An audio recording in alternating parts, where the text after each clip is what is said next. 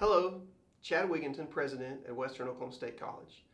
Today, I want to talk to you about the FAFSA, Free Application for Federal Student Aid. If you're a high school senior, college is just around the corner. One thing I hear all the time is students say, I just don't think I can afford to go to college. Well, here's the deal. If you complete the FAFSA, there's a good chance that you might receive some funding to help you with tuition, fees, and possibly textbooks.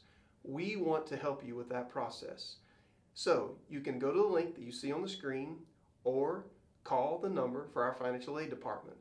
It's our job to make sure that you have all the tools you need to be successful in college. We're here to help.